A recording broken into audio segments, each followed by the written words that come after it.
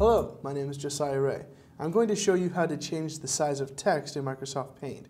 Now unfortunately Microsoft Paint, while it is a free program and you can put text of different sizes onto an image, you can't change the text once you've placed it there. It's not like um, Photoshop or something, some of the nicer programs where you can select text once you've placed it or put it on its own layer.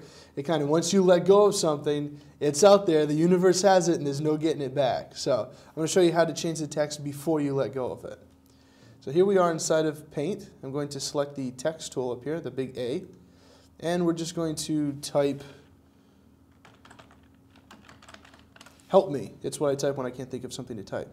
Now, if you look here, we kind of have a Microsoft Word style interface. A little bit simpler, but similar. And we can select the, the font, and we can also select the size. But you'll notice if we select different sizes, nothing's happening to the text. That's because you actually have to highlight the text for the size change to work.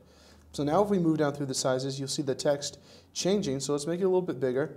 And now it's overrun the size of its box. That's what these little handles are for. The text kind of lives inside its own little box. So if you grab those handles and think you're making the text bigger, you're actually only making its living room bigger.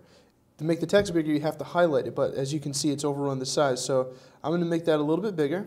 And we can also, if you hover close to the corner of this box, you see that four arrow cursor appear. You can also drag it around the screen.